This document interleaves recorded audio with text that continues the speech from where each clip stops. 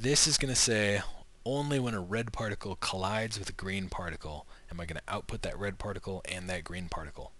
If red is colliding with two green particles, it's going to output the red and the first green and the red and the second green. So just remember that's how this, this pairing works. And then this invert switch, uh, the invert switch works in conjunction with the distance setting and it's going to output um, the particle combinations who are not within 30 units of each other. When they are within 30 units of, of each other, they're not going to be outputted. So what's going to happen is we're going to get this dead zone in the middle because they're going to be too close and so they're not going to output their pair. But any, any red who is um, 30 units or greater than a green, then they're both going to be outputted.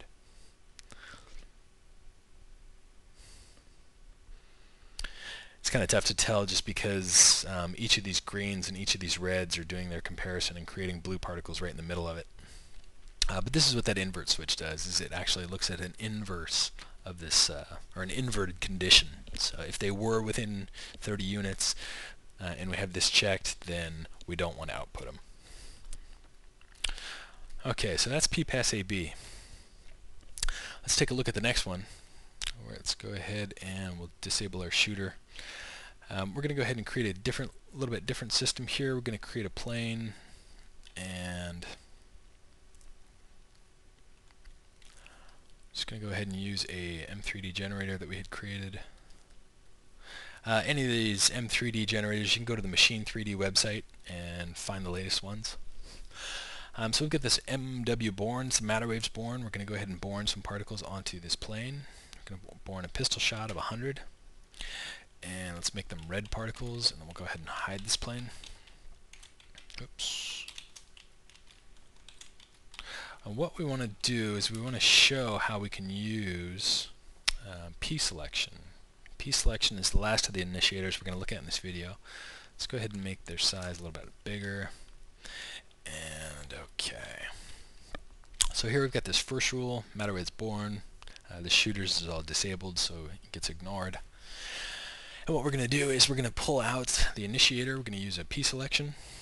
And P-selection um, works in a couple different ways.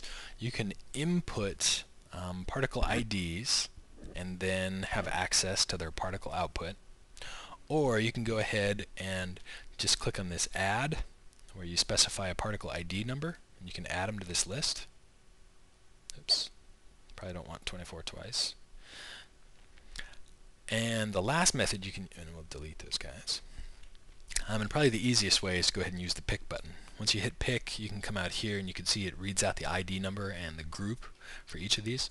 And what we're going to do is we're just going to pick some of these larger particles.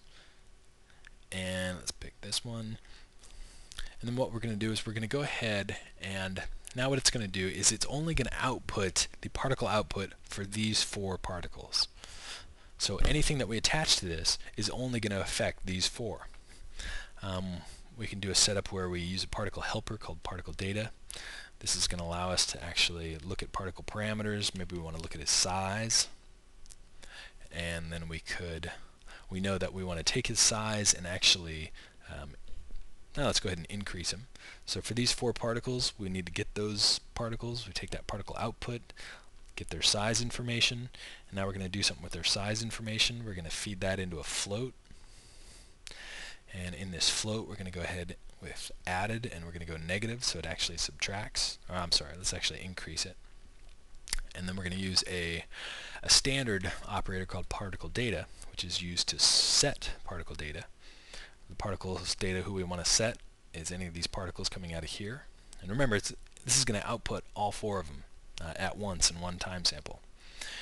And what we want to set is their size, and we're going to feed this new size into there. So we've got our four particles picked, we find out their size information, we modify that size information, and then feed it back and set those particles with a new size. Um, what you have to watch out for is this is going to happen um, every time sample. So they're going to grow over time.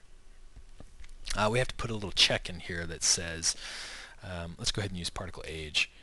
So whenever those particles are born, what we're going to do is we're going to go ahead and activate this rule. So this will only happen once at birth.